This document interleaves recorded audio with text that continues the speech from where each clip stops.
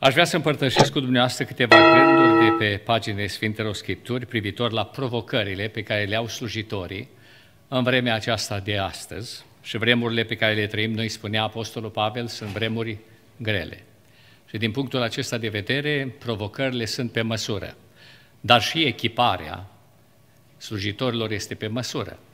Dumnezeu ne-a chemat în vremuri grele, cu resurse deosebite față de cei din primul viac, cu cunoștințe deosebite, să putem sluji unui Dumnezeu măreț, slăvit să fie Domnul. De aceea aș vrea să mă folosesc de un singur verset din 1 Timotei, capitolul 3, versetul 15, care spune în felul următor. Dar dacă voi zăbovi, să știi cum trebuie să te porți în casa lui Dumnezeu, care este biserica Dumnezeului celui viu, stâlpul și temelia adevărului. Amin. Cea mai mare onoare pe care o poate atinge un om în lumea aceasta, stimații mei, este să slujească acestui Dumnezeu viu. Restul toate celelalte pălesc în perspectiva veșniciei. Poți ajunge în lumea aceasta un mare om și lider politic.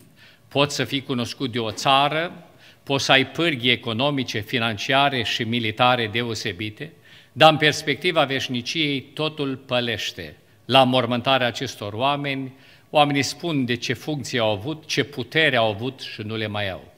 În schimb, pentru un credincios care se pune la îndemâna Domnului și slujește Bisericii lui Isus Hristos, care este logodnica și viitoarea lui mireasă, este pregătită o perspectivă eternă, când El se va bucura de onoarea cerului și la asta va chema Dumnezeu pe voi. Nu există slujitor care lucrează cu responsabilitate să nu se fi gândit la demisie. Nu se există om care luptă cu adevărat și simte războiul care se poartă împotriva lui să nu se gândească să tragă un pas înapoi. Ne uităm de multe ori cu jind la aia care stau, nu fac nimic și mai și comentează.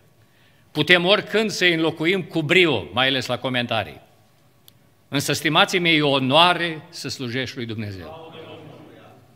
Onoarea aceasta ne face să ne tratăm slujba cu respect și dincolo de împotrivitorii pe care îi avem și dincolo de oamenii care nu fac nimic și totdeauna și câteodată nici încurcă, slujim unui Dumnezeu care merită tot respectul nostru. Dacă nu era El, eram niște amărâți de alcoolici, eram niște terminați de curvari, eram pierduți în lumea asta. Suntem ceea ce suntem doar datorită Lui. Pleade înteși de îngeri sunt puse la dispoziția noastră ca să ne pregătească calea, pentru că slujim cele mai mari autorități din lumea asta. Perspectivele eterne nu pot fi comparate. Ni se dau câteodată câte o fereastră în momentele dificile ale slujirii și ne arată Dumnezeu câte o poză a veșniciei și prindem din nou curaj și mergem înainte. Dar până atunci suntem așezați să purtăm de grijă de logodnica Lui. Logodnica Lui pe care vrăjmașul vrea să o scoapete, vrea să ia vederea, dacă se o poată asurzi prin zgomote teribile, și noi suntem puși să păzim această logodnică. Și să avem grijă ca și slujitori al lui Dumnezeu să știm cum să ne purtăm în casa lui Dumnezeu. Și dați-mi voie în timpul alocat slujirii, pentru că am întrebat de fratele Marius care este programul, ca nu cumva să știrbesc ceva din programările și din inițiativele pe care le veți dumneavoastră aici, aș vrea să vă vorbesc despre câteva provocări pe care le-am văzut în multe biserici și în biserici din Italia și peste tot, tendințele actuale, care sunt niște provocări pentru slujitori la care trebuie să faceți față, la care trebuie să facem față.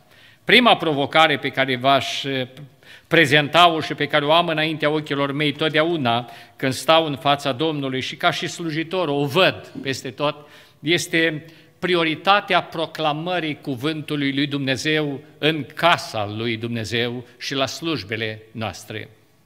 Trăim o vreme când avem diferite opțiuni pentru slujbele noastre.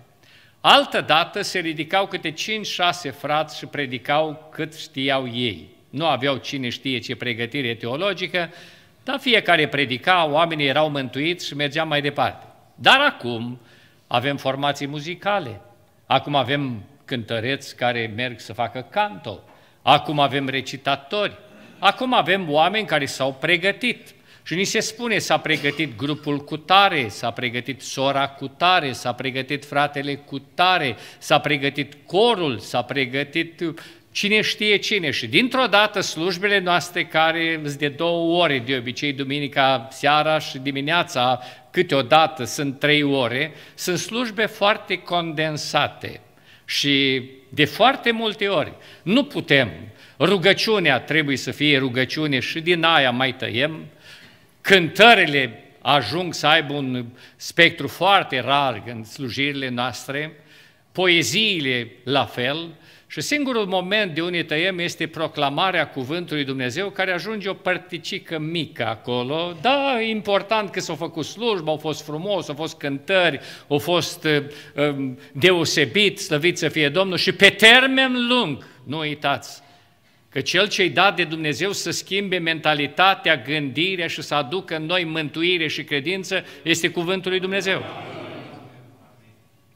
Pe termen lung ajungem să avem un timp scurt în care se prezintă un predicator, mă numesc cu tare, vin din cu tare, vă dau o idee așa, că n-am timp să o dezvolt, că v-ați spus toate neamurile, nepoții la slujire și așa mai departe, și acum nu am timp să vă prezint lucrul ăsta, însă, însă, ideea. Și plecăm acasă cu foarte multe cântări pe care le fredonăm, cu foarte multă atmosferă care a fost în casa Domnului, dar fără cuvântul care schimbă fără el. Și nu uitați, am vorbit și aseară aici, David spunea, strâng cuvântul tău în inima mea ca să nu păcătuiesc împotriva ta. Mai David, dar tu n-ai ambiție? Tu ești doar împărat. Nu, singurul lucru care mă face pe mine să nu păcătuiesc nu e ambiția mea, nu sunt propunerile mele, când fac o grămadă de propuneri, ci este cuvântul lui Dumnezeu, doar El. De aceea Noul Testament spune cuvântul lui Hristos să locuiască din belșug în voi. Ar trebui slujbele noastre să fie îmbelșugate de acest cuvânt proclamat. Spunea Apostolul Pavel în Romani, căci credința vine în urma auzirii și auzirea vine prin cuvântul lui Dumnezeu. Aș vrea să vă spun, acolo e vorba de credința mântuitoare, dar credința în evoluționism, știți cum vine? Tot prin auzire. Dar credința în alte lucruri cu care ne confruntăm, tot prin auzire. Puneți-vă în locul copiilor voștri, adolescenți, în locul tineretului din biserică, care stă expus auzirii tuturor teoriilor din lumea aceasta și în casa Domnului aud o muzică plăcută, armonioasă, frumoasă, dar n-aud acel cuvânt care produce credința mântuitoare. Și de multe ori ei sunt, la un moment dat, la un moment dat nu au timpul de expunere corespunzător. Și să nu te miri că el va crede mai mult în ceea ce se expune mai mult. De aceea e nevoie de timp suficient de predicare a Evangheliei. Dumnezeu să ne ajute? Cuvântul Domnului spune că prin vorbe vine mântuirea. Vă dau cazul acesta în care Sfânta Scriptură spune în Faptele Apostolilor, capitolul 11, cu versetul 13 în felul următor. El, Corneliu, ne-a istorisit cum a văzut în casa lui pe înger, stând înaintea lui și zicându-i, trimite la Iope și cheamă pe Simon, Zis și Petru, care, și atenție, estimații mei, Petru putea să facă învieri. Tocmai de asta era la Iope. O înviase pe ucenița Tabita.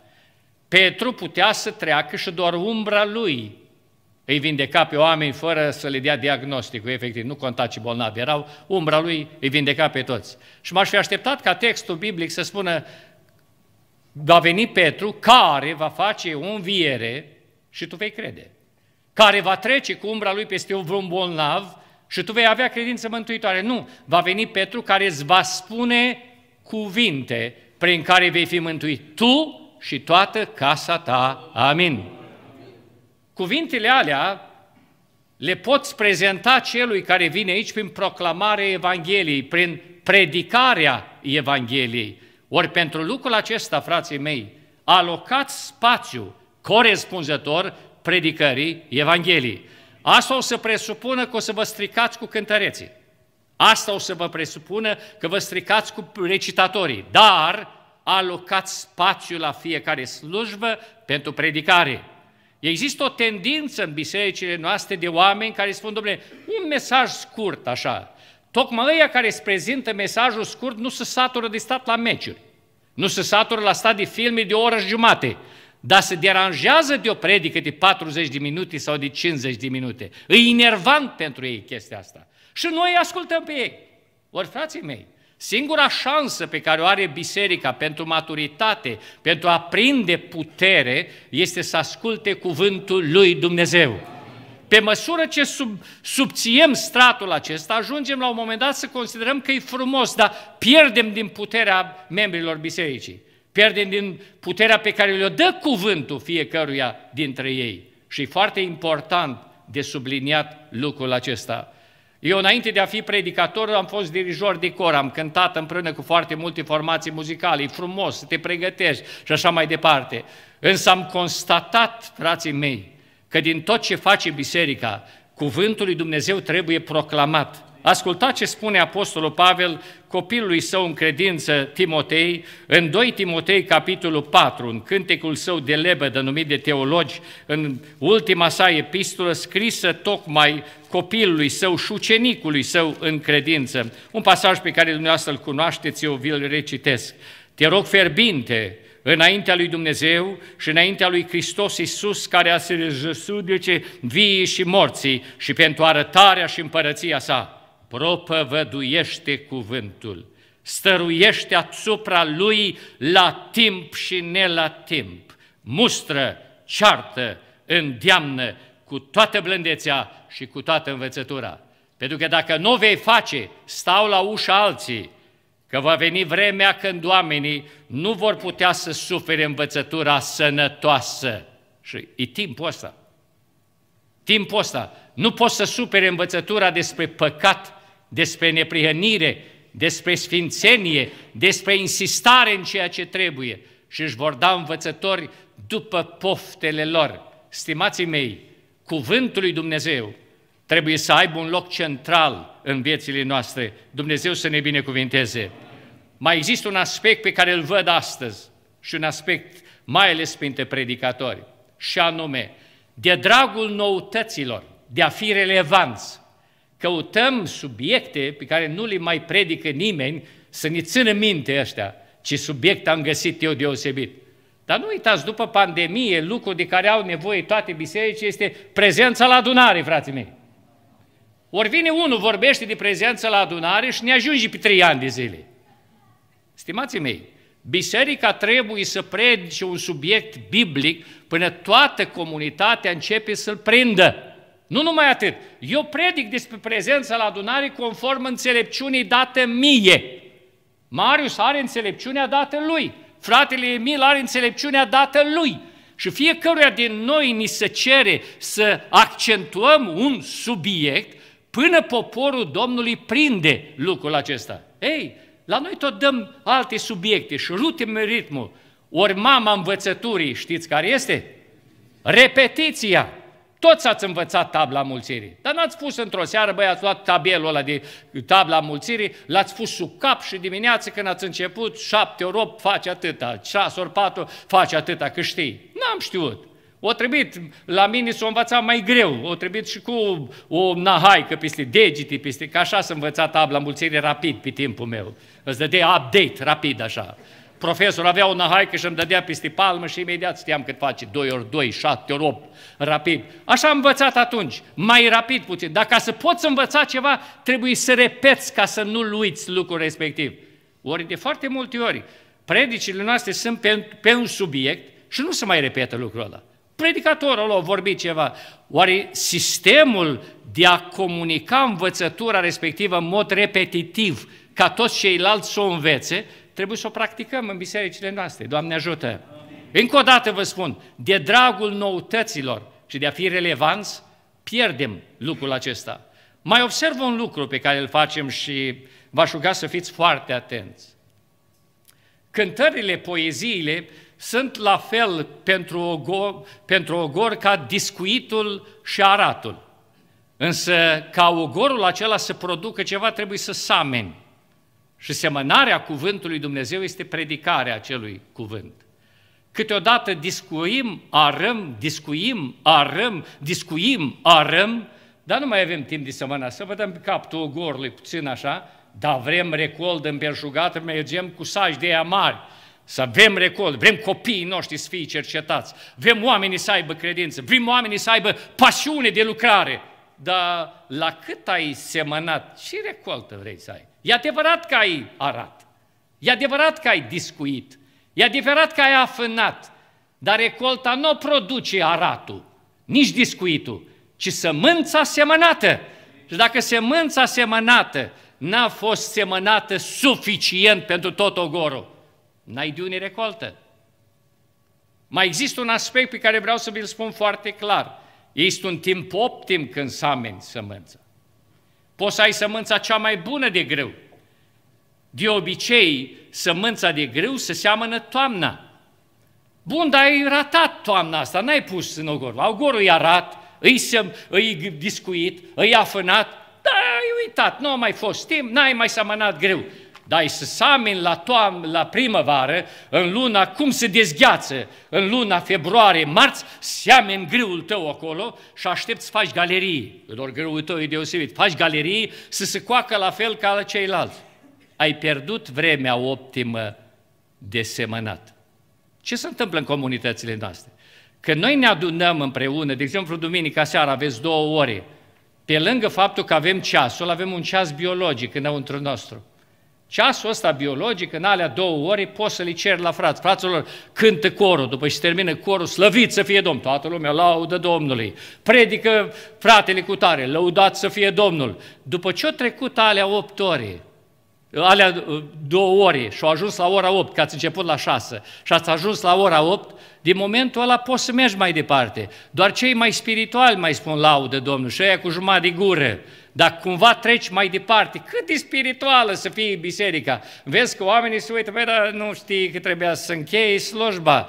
Poți să fii tu predicatorul cel mai bun. E gata. Ce se întâmplă? Sunt oameni chemați să predice, chemați să sameni sămânța. Dar arăm, discuim, arăm, discuim, până la 8 fără un sfert.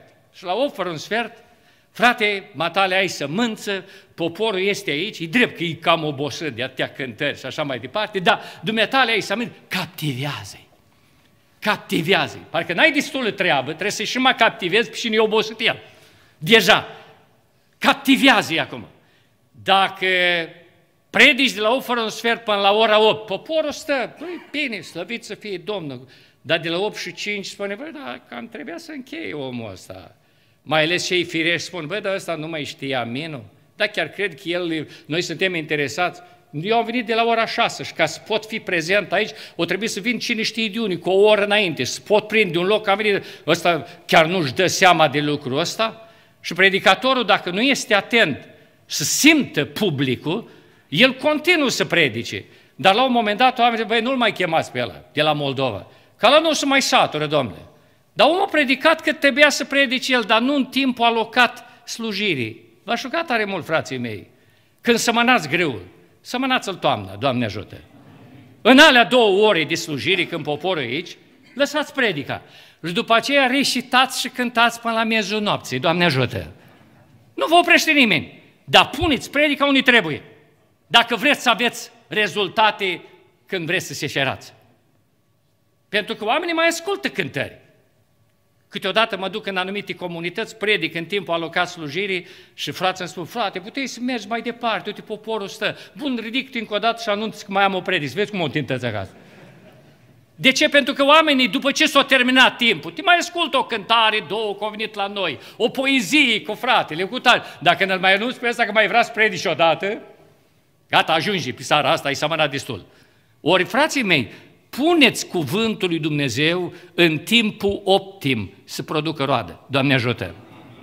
Lucrurile astea trebuie să le învățăm, că din râvnă pentru biserica noastră, pentru cutare, câteodată anumiți frați păstori îmi spune, frate Virgil, te rog să mă sud, dumneata ai venit și te duci.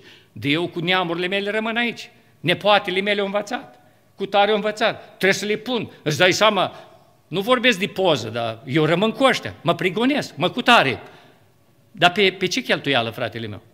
Pe ce cheltuială? Pe cheltuiala semănării cuvântului Dumnezeu? Ori tu nu ai fost păzit aici, în primul rând, să-ți păzești neamurile tale, să ai grijă de logodnica lui Hristos, care este biserica. că fac și neamurile tale parte din logodnică, slăvit să fie Domnul. Dar tu îngrijește-te de ceea ce ai fost pus să faci. Ori, stimații mei, una dintre problemele cu care ne confruntăm este micșorarea timpului de predicare și vrem să avem rezultate bune. A doua este timpul maximei eficiențe pe care trebuie să-l acordăm cuvântului Dumnezeu. Apoi, stimații mei, umplerea timpului cu tot felul de activități. Vin oameni care ne vizitează comunitățile noastre care au idei politice, vor să vorbească de anumite organizații sociale și așa mai departe. De foarte multe ori umplem slujbele noastre cu așa ceva. Nu uitați încă o dată, una dintre provocările cele mai mari pe care le am eu și pe care le aveți voi, este să așezați cuvântul lui Dumnezeu la locul de cinste. După ce cuvântul e predicat, după ce oamenii ca la mulțirea pâinilor au mâncat și s-au săturat, după aceea putem vorbi și de altceva. Dar poporul vine să privească hrană. Am întâlnit biserici care au crescut, logic nu-ți dădeai seama, vă pot spune și orașele de unde au crescut foarte puternic. Au plecat, au plecat o grupare de frați cu pace, dintr-o altă comunitate, unde erau păstori buni. Încă o dată vă spun, vă pot da și numele, dar nu vreau să deranjez pe nimeni într-o fază negativă sau să laud pe cineva. Au plecat dintr-o comunitate, au ajuns în altă comunitate și comunitatea aceea a crescut nu de 10 ori, efectiv, mult mai mult a crescut decât de unde a plecat. De ce? Pentru că atunci când se predica cuvântul, se ridicau păstorii, predicau Evanghelia. Când cineva a fost anunțat să predici, s-a întâmplat ceva, toți predicatorii își, își propun să predici bine. Nu iese totdeauna cum ne dorim. Trebuie să recunoaștem. Dom'le, dacă cineva n-a apucat, a avut un trac, a avut, se ridica păstorul după el și începea să predice, chiar dacă trecea 5 sau 10 minute, predica Evanghelia. Mai vede pus cântă, domnule, dar predica Evanghelia.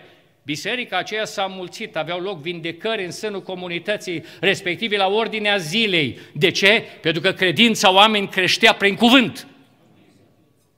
Și a crescut biserica aceea. Toți au întrebat, măi, dar au plecat de acolo, ei au rămas așa? Și ăștia au crescut extraordinar, aveau botezuri în continuu. De ce oare lucrul ăsta? Pentru că oamenii ăia au știut importanța cuvântului Dumnezeu care prin Duhul Sfânt schimbă inimi. Să ne ajute Dumnezeu pentru provocarea pe care o avem. Uitați-vă la copiii voștri, uitați-vă la tinerii bisericii, la adolescenți, ei au nevoie de cuvântul Domnului. Puneți la locul de cinste, Doamne ajută! A doua provocare pe care o văd în zilele noastre de astăzi este nevoia acută de rugăciune stăruitoare. După ce cuvântul impregnează slujbele noastre, trebuie să avem grijă ca el să fie completat de rugăciuni, dar de ele stăruitoare, fierbinți, cum spunea Apostolul Iacov. Bisericile pentecostale au fost uh, penetrate de gândirea cesaționistă, de cei care spun că nu-i nevoie de lucrurile acestea. Nu uitați că dacă suntem ceva ca și biserici pentecostale, sunt îndatorită rugăciunilor și a prezenței Duhului Sfânt. Am pornit în urma altor culte evanghelice și un timp ni s-a spus că din cauza numărului de copii suntem mai mulți. Nu uitați că frații creștini după Evanghelie au aceeași mentalitate ca și noi privitor la copii și totuși n-au crescut așa. Singura explicație logică pe care o recunosc și ei acum este prezența Duhului Sfânt. De aia comunități sau grupări creștine după Evanghelie au început rugăciunile stăruitoare au acceptat rugăciunea în comun în sânul comunităților lor, care să ducă la rugăciuni ferbinți, aprinse, în timpul în care Dumnezeu face minuni, convertește, convinge oameni. Ori Biserica Pentecostală începe să piardă, mai ales în orașele din țară vorbesc, orașele universitare, unde oamenii au învățat Evanghelia din greacă, din latină, unde avem o grămadă de teologi toți oamenii aceștia au început să spună nu mai avem nevoie, avem nevoie doar de studii, doar de învățătura apostolilor, când e vorba de stăruință nici nu vor să audă și vă pot da comunități pentecostale. Doar nu mai vor să audă de lucrul acesta. Se strâng frații grămadă în anumite comunități, în mod special tinerii, mulți dintre ei doctori, ingineri, să stăruiască pentru Duhul Sfânt, că Biserica Pentecostală locală nu le oferă șansa asta. Nu le oferă șansa asta. Frații mei, în timp vom deveni ceea ce au devenit alții. Nu uitați că pe când bătrânii noștri în opingi și îmbrăcați în straie populare, fără pregătiri academice, fără pregătire teologică, se rugau împreună și boteza Domnul cu Duhul Sfânt și le spunea Duhul Sfânt că ne va înmulți și ne va trimite să fim o mărturie în toată Europa. De atunci țin descoperirile alea. În timpul ăsta, frații baptiști aveau teologii lor și predicatorii lor mult mai buni decât toți ai noștri la un loc. Creștinii după Evanghelie erau foarte bine organizați. Foarte bine. Aveau predicatori buni. Singurul lucru care l-au avut bunicii noștri a fost Duhul Sfânt al lui Dumnezeu.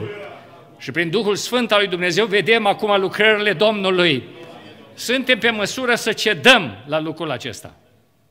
Încetul cu încetul cedăm. Avem o grămadă de băieți deștepți printre noi, care vin și spun nu așa, nu așa, nu avem acoperirea aia, nu avem cealaltă, nu avem cealaltă. În timpul ăsta avem acoperire pentru diverse lucruri care nu au fost înainte. V-aș ruga tare mult, nu insist asupra ideilor care sunt. Insist doar asupra faptului că biserica trebuie să se roage fierbinte. Insist asupra faptului că biserica trebuie să stăruiască pentru Duhul Sfânt.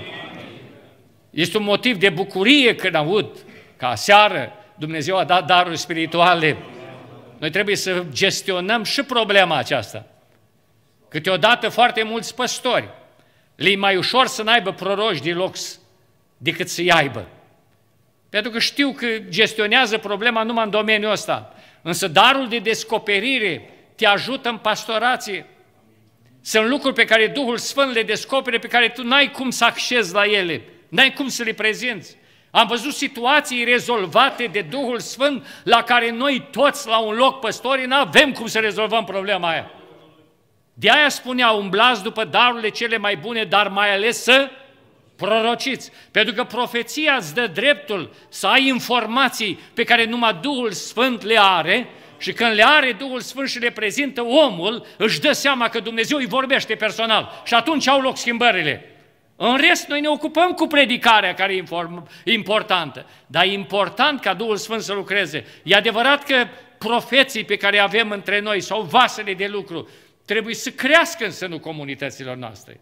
Trebuie să aibă parte de atenție. Dacă o primi cineva dar, dacă o primi cineva dar, trebuie păstorul bisericii împreună cu bordul de conducere să cunoască lucrul acesta, să verifice lucrul acesta.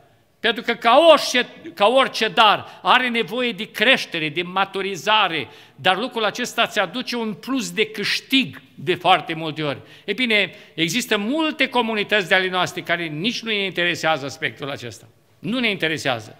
Mai bine fără și care mai are îi punem uh, palma la gură, ține pentru tine și neamurile tale, dar nici acolo n-ai voie. Și încetul cu încetul avem foarte buni cântăreți, avem foarte buni recitatori, avem o grămadă de mofturoși în adunare, dar nu avem daruri spirituale care să compenseze lipsurile de cunoștință pe care le avem. Căci mie Dumnezeu îmi descopere în parte o parte din Scripturi.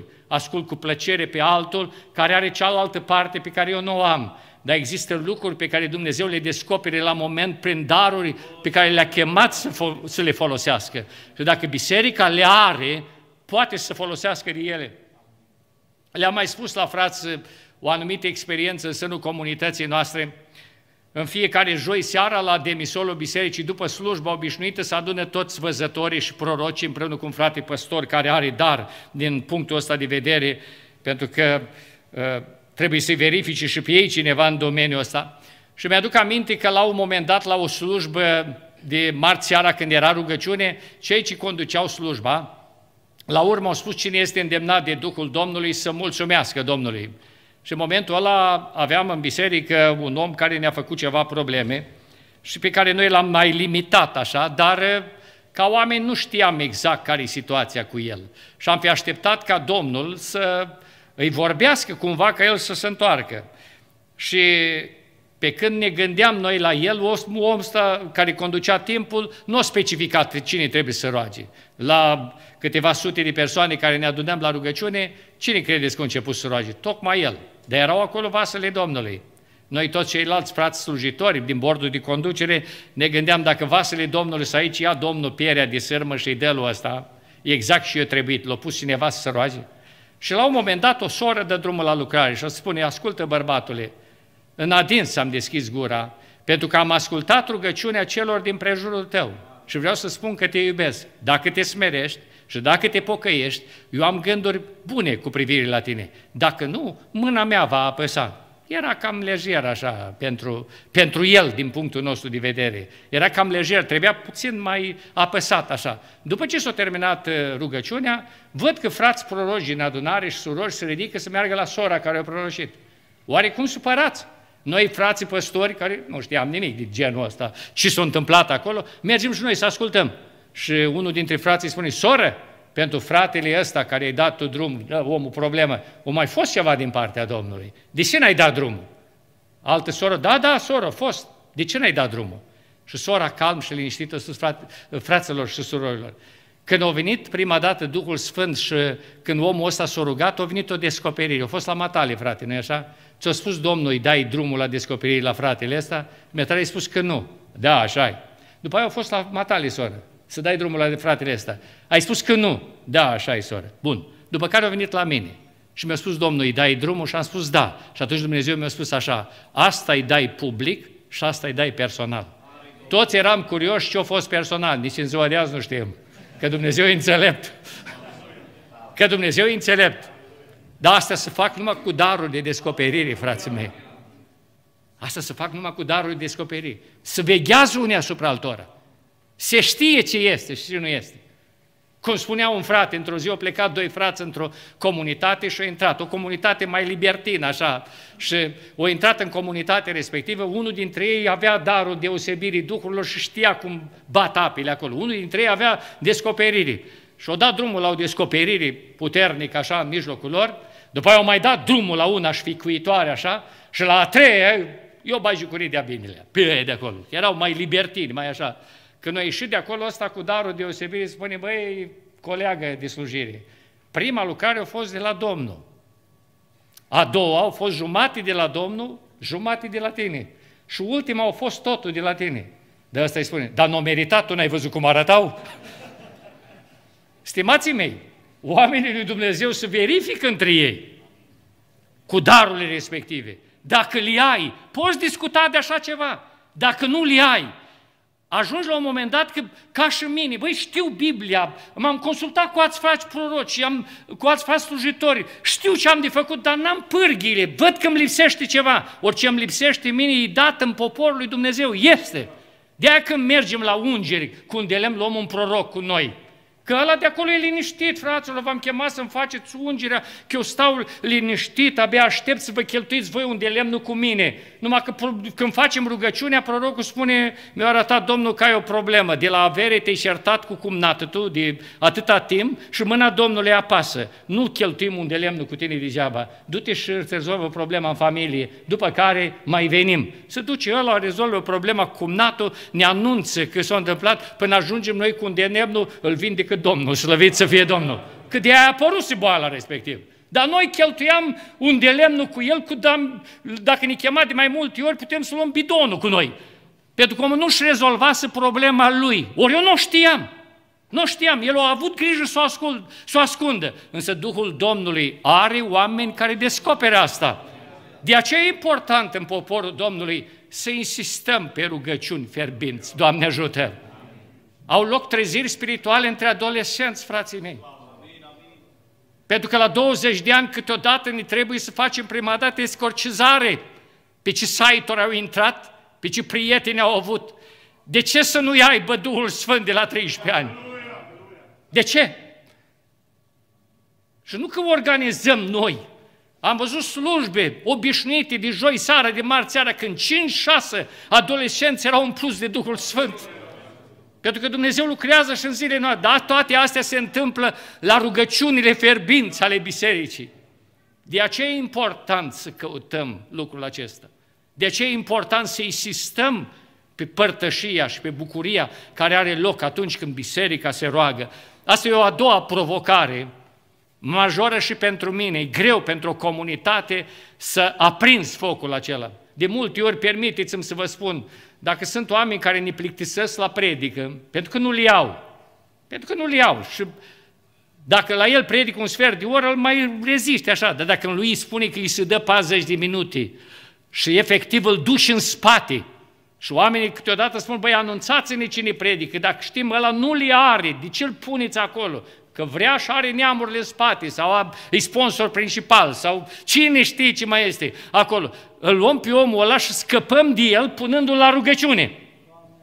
Frate, conduci la rugăciune și 5-7 minute, el nu-ți poate abține la 7 minute, mergi la 10 minute și te duci la el și îi spui, bun, o lojim rugăciunea cu oamenii ăștia.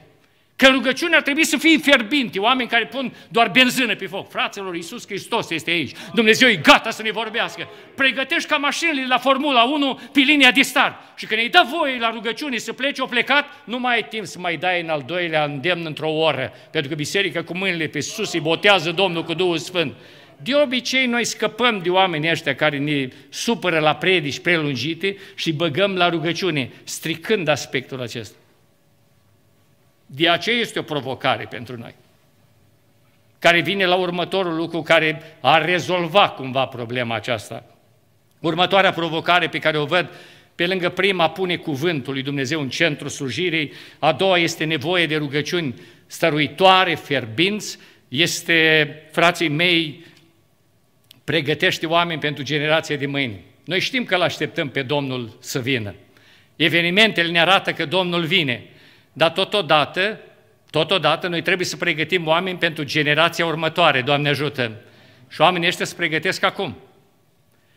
Știu că am participat, nu vă spun din nou zona, că nu vreau să umilesc, sunt șfrați din zona respectivă, când bărbați de o seamă cu mine, poate puțin mai tineri, erau puși la îndemn la rugăciune la 50 ceva de ani, în biserici. Și el îmi spunea mie, Virgil, Virgil, eu de la 20 de ani să aici. Când eu aveam 20 de ani, ei certau tăți care stea după amvon. Nu scapa unul acolo. Ei dădeau, ei făceau, ei lucrau, ei cu tare. Acum, la 60 de ani aproape, mă văd pe mine să mă fac de râs în fața nepoților mei, nu a copiilor, a nepoților mei. De eu n-am fost aici, mai. N-am fost aici până acum. Își bat joc de mine? Pe acum eu sunt de afaceri, măi. Când am văzut că n-am loc, am cântat, am avut pasiune, am, am ieșit, când m-au pus, am slujit, dar n-am avut loc de ei. M-am dus și eu și ne-am văzut, mi-am deschis firma, am lucrat, am cutat. La 60 de ani mă văd să mă pună să mă fac eu de râs. Stimații mei, dacă îi aveți în prejurul dumneavoastră, gândiți-vă că oamenii ăștia trebuie crescuți. De foarte multe ori au râvnă, nu au înțelepciunea potrivită, dar nu-i problemă. Oamenii ăștia au nevoie să fie crescuți, au nevoie să fie încurajați. Noi vrem să vedem generația de mâine, dar noi creștem. Vă spun la nivel înalt. Când cineva ajungea într-o anumită zonă ca să ajute, ca să sprijinească, era întrebat ce cauți? Nu cumva îți place osul? Nu cumva vrei să ajungi mare? Și vrei ordinat? Bine, omul își vedere treaba lui, se ducea. Avem foarte buni șoferi, faianțori, meseriași, zidari. Nu avem lucrători. Nu avem lucrători, că lucrătorii se cresc. Nu-i avem, pentru că nu au încăput de noi. Te-ai gândit la generația care vine? Cresc lângă noi? Pentru că vrem dintr-o dată, după și noi nu mai putem și permite tremurăm din toate încheieturile, vedem ăsta gata, crescut, plin de dar, poate să luăm de la careva care l-a crescut. Ori ăștia să cresc lângă noi, frații mei. Când cineva e interesat de lucrare, îl luăm lângă noi, îl învățăm. Și aici există rateuri. Și aici există rateuri. Câteodată și-o iau în cap, de asta e riscul. Câteodată se cred mai mari decât sunt. De asta e riscul.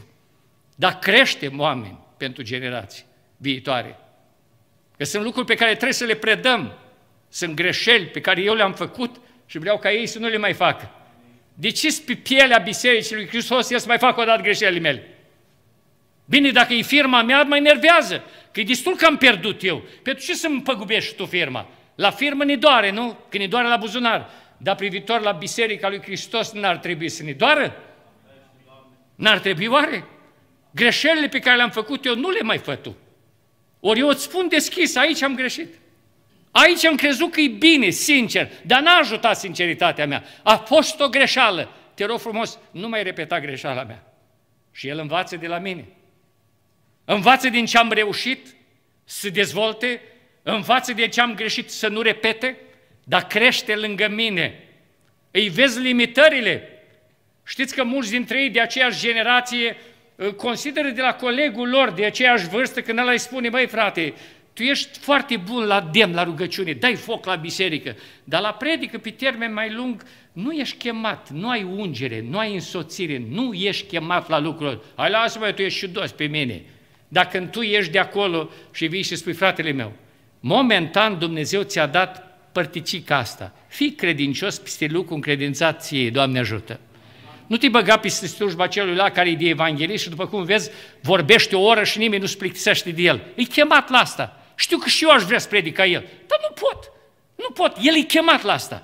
Când e evangelizare, el își face treaba, când ești de rugăciune, tu îți faci treaba și aprinzi biserica. Dar tu ești chemat la asta și el e chemat la... Știi că el nu comentează? Pentru că este o autoritate care îi spune limitele lui. Și el în limitele lui începe să conlucreze cu celălalt, nu în concurență, în completare. Am văzut comunități unde frații au crescut în bordul de conducere, au crescut în mentalitatea asta. I-au văzut așa, i-au încurajat, i-au pus cu greșelile de rigoare.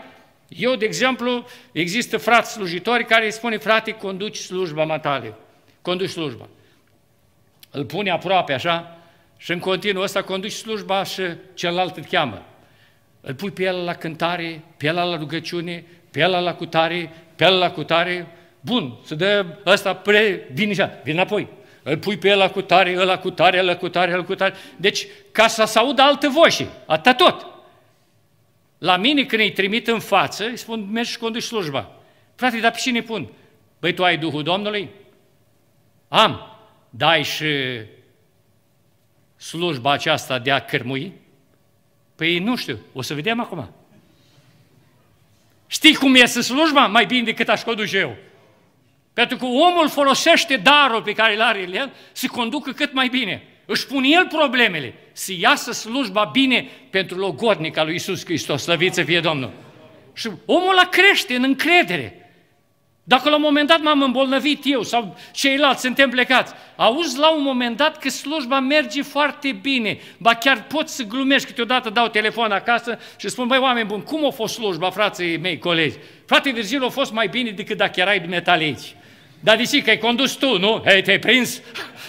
Stimații mei, lucrul ăsta de colegitate, de a putea să-l mustre pe cealaltă liniștit, de a putea să-l încurajezi liniștit, te face să crești oameni lângă tine, nu sunt perfecți, dar sunt oameni care pun numărul. Sunt oameni câteodată vor să dea înapoi și mergi lângă ei și spui, măi, și eu sunt în aceeași condiție ca și tine. Mai mergem înainte sau pot să dau și eu înapoi? Nu, frate, dumneata, n-ai voie să... Nu, măi, dar dăm tăți odată, măi.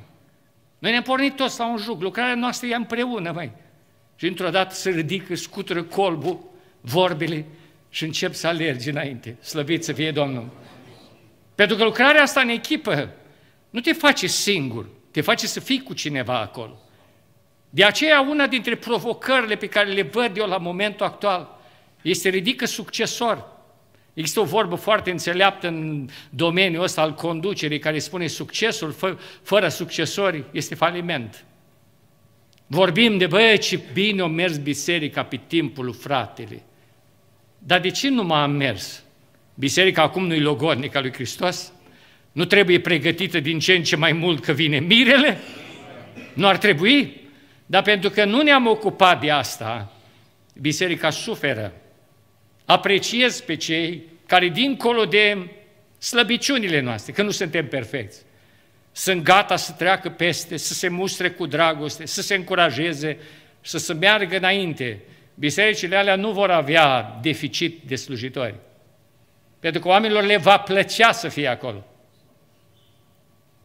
Unul dintre lucrurile frumoase pe care le-am văzut în comunitatea noastră este că atunci când avem propuneri pentru Comitetul Bisericii, le-am sus la frați, Comitetul este un loc de slujire. Este un loc în care pui capul în jug, este un loc în care te limitezi față de toți ceilalți și slujești logodnicei lui Isus Hristos. Câtă vreme? Patru ani, cât e? După patru ani s-a putea Dumnezeu să-ți dea o pauză dacă ți-a fost prea greu. Dar dacă nu, continui slujirea acolo. Și câteodată îi întreb pe frați, înaintea alegerilor, fratele meu, ești onorat să fii propus ca să faci parte din conducerea bisericii. Dacă poporul te alege și Duhul Domnului este de acord, ești gata să slujești Bisericii lui Iisus Hristos Logon? Da, cu onoare voi sluji. Și îl întreb, și dacă nu ești, abia aștept următoarele alegeri. Pentru că e o onoare să slujești Bisericii lui Hristos. Nu-i luptă pentru os, nu-i luptă pentru mărire, e o onoare să slujesc aceste biserici. Câtă vreme gândești așa, chiar dacă nu ești în comitet, e o rare să ajuți pe cineva. E o onoare să sprijinești această biserică, pentru că nimic nu este răsplătit ca slujirea în ogorul Evangheliei. Dumnezeu să ne binecuvinteze. Ultimul gând pe care vreau să vi-l spun pe lângă acesta, v-aș ruga, rugați uitați-vă în prejurul dumneavoastră, rugați-vă ca Domnul să scoată lucrători și lucrătorii nu vor fi perfecți. Luați-i lângă voi. Învățați-i cât știți voi. Domnul îi va crește. Veți vedea greșeli la fiecare dintre ei. Corectați-i câtă vreme puteți corecta. Îmi aduc și acum aminte când uh, cazul ăsta posibil dau, că e de mai de mult. Fratele Sandu Marin de la Dej era păstorul bisericii din Dej la momentul respectiv. Și fratele Romi Mocanu venise tocmai de la Institut de la București, pregătit teologic, foarte bun în predicare, și venise în biserica din Dej. Fratele Sandu Marin era încă în floarea vârstei. Și la un moment dat fratele Sandu a vorbit cu fratele Romi după un anumit timp, o văzut ce poate, și a zis, frate Romi, vremea să intri dumneatale întâi să slujești ca păstor principal, eu fac un pas înapoi și te lăs pe dumneatale neamurile lui fratele Sandu, o parte din biserică care erau legați afectiv de fratele Sandu. Au venit la el și au zis, frate, te rog frumos nouă, dumneata mai poți. Și fratele Sandu le-a spus tocmai pentru că mai pot, de aia fac. Pentru că dacă fratele Romei o ia așa cum trebuie, eu pot să mă duc acolo să-l trag înapoi. Eu pot să mă ridic în fața lui și îi spun nu așa să face. Eu pot să-i spun, ți-am predat ceva după aceeași direcție. De ce să stau până când nu mai pot? După aceea el face tot ce vrea, dar eu nu mai pot. Acum fac pasul ăsta pentru că pot. Și biserica a mers înainte pentru că a avut lumina aceasta. Eu învăț din lucrul ăsta încă de la momentul actual. Am propus la frați pentru că pot să fac un față în spate. Nu mi-acceptă că o zis că încă mai pot. Dacă prindeți ideea, am luat lucrul ăsta. Însă gândiți-vă la aspectul ăsta. Gândiți-vă foarte mult. Învredniciți cu autoritate și veți vedea că biserica funcționează și pentru că puteți, încă puteți corecta anumite lucruri care la un moment dat, din neștiință, din neglijență, din aroganță câteodată să faci, vii din spate și corectezi lucrul respectiv pentru că poți. Dumnezeu să ne binecuvinteze. Ultima provocare pe care o vom avea și o văd constantă este să aducem aminte poporului și nouă înșine că slava aparține numai Domnului. Avem tot felul de personalități printre noi care fac o grămadă de școală, care fac o grămadă de abocaliză, care repetă o mulțime de cântări, care sunt recunoscuți la nivel național și internațional și care vor recunoscuți în sânul bisericii ca doctor, profesor, reverenți, cântăreți, nume sonore, să se vorbească de ei mai mult decât de Isus Hristos. V-aș ruga tare mult. Toate astea țin pe la ușa adunării. Și primarii, și senatorii, și profesorii, și teologii, aici suntem frați și surori în Domnul. Amin. Și între noi cel mai mare este Isus Hristos. Amin. Nu numai atât. Am început, eram cu fratele Marius Livanu în Australia și mi-aduc și acum aminte că au făcut o convenție la care am fost chemați amândoi toate orchestrele din continentul australian s-au unit la acea convenție și au cântat o cântare cu orchestra și cu corul magnifică, efectiv, magnifică. Dirijorul, dacă și aduce aminte, fratele Marius avea părul lung, că la, la dirijor puterea listă ca la Samson, în păr. Și uh, o cânta cântarea aceea extraordinar. Bineînțeles că după cântarea aceea pe care o cântat-o ei, se merita un slăvit să fie Domnul. Dar frații au început cu aplauze. Bineînțeles că dirijorul și-a băgat în buzunar o grămadă de aplauze. Cântăreții la fel stăteau. Într-adevăr, suntem buni. Frații mei, dacă toți oamenii ei erau acolo și nu erau drogați pe înșanțuri și nu erau departe de Harul lui Dumnezeu și puteau să cânte dintr-un instrument sau cu vocile, datorită cui? Datorită lui Hristos. Aplauzele sunt o formă de a lua slava lui Dumnezeu și a o băga în buzunarele lor care se înclină în fața noastră și chiar dacă nu se înclină, o fură de acolo. Ori dacă ai glas și poți să spui slăvit să fie Domnul, fă-o, fratele meu.